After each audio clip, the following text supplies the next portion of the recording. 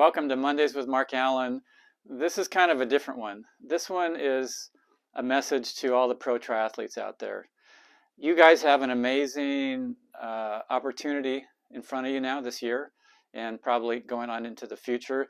A lot of races, a lot of prize money, a lot of potential to, you know, make your mark, add to your, your list of accomplishments. At the same time, it's taxing. It's a price on your body. And that's what I want to talk about today. I look back at just even what's happened at Ironman St. George, Ironman World Championships in St. George. Look, look at all the people who didn't even make it to the start line. Lucy Charles Barclay, stress fracture in her hip, pushing it too far, too long. And she also commented that her her bone density had come back up to normal, which meant that there was a point where it wasn't normal, which meant a lot of things weren't going right for her. Jan Frodeno didn't make it to the start line, tearing his Achilles, pushing it too too much, too hard, too far, probably. Who else? Uh, a lot of people didn't even make it because they got sick. Joe Skipper, uh, Javier Gomez, Laura Philipp. the list goes on and on and on. Alistair Brownlee at the last minute, Gustav Iden at the last minute, all sick. Maybe they were in the wrong place at the, at the wrong time maybe they pushed their bodies too far and their immune system was compromised and they couldn't fight anything off. I just have to just I, am just saying this because I care about all of you. I care about what you're doing. I understand when there's opportunities, you have to go for it. But at the same time, you have a limited quantity, that thing called your body. You you only get one in your lifetime. You have to take care of it triathlon in your level that you're at, it's only for a short period of time. It's not your entire life. It will not set it will not set you up for the rest of your life if you're going to pay a price for what it took to set you up. Yes, you can make prize money. Yes, you can uh, achieve great accomplishments. Yes, you can inspire others by what you do. But do it smart. I mean, look at and this is, I'm going to say some names, and this is not to call out any of you individually. This is a message to all of you. But let's say Ben Hoffman, Jocelyn McCauley, they, they both won Ironman Texas. Two weeks later, they're doing another Ironman in St. George, Utah. After I did an Ironman, I could not even think about doing anything for a good month. Is that crazy? I don't know. I can't speak for your bodies, but pay attention look at the folks who were in St. George who then went to the LA Triathlon and raced. Granted, it was a relay. A lot of the pros were there, Sam Long, Lionel Sanders, but you guys raced hard. You put out a big, huge effort, and you're racing again a week later after an Ironman. Has the world become so uh, just numb to the fact that, that racing at the level that you guys are, you men and you women, is a big demand on your body? I look at the people that I competed against and the price that a lot of them have paid. Scott Molina, he's had he's had overuse uh, surgery, injuries, surgeries. He's had back problems for years.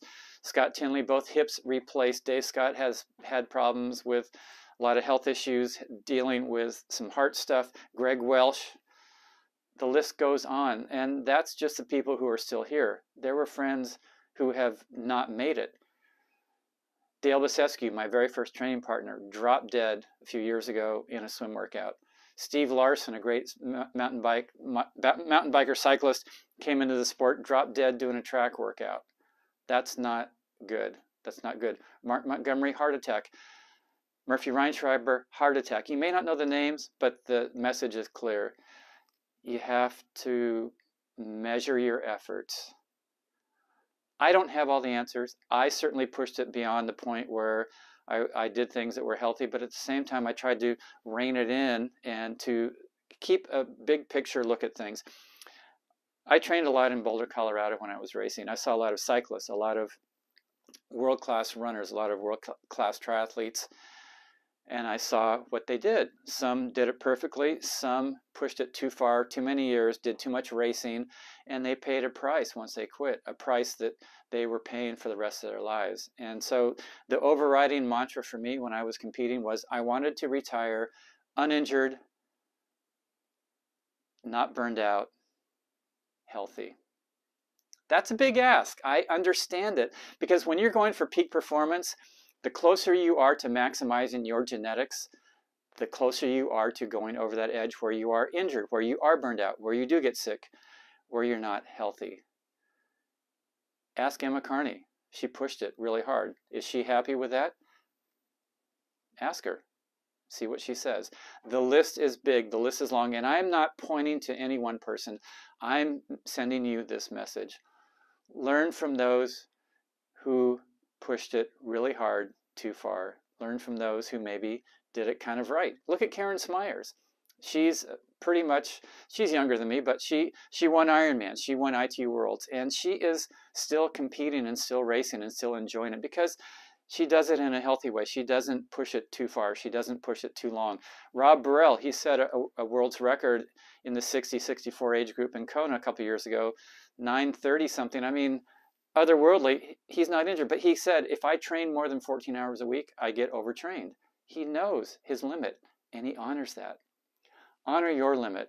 Think long term. This is a great period in your life. It is the only period in your life where you will be able to be one of the best in the world.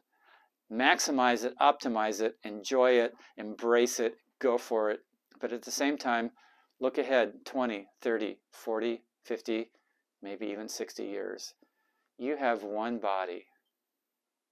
Honor it. Mondays with Mark Allen to all the pro triathletes out there, and to anyone who is pushing the limit on what they do, regardless of whether it's in sport or in life. Let's keep it balanced.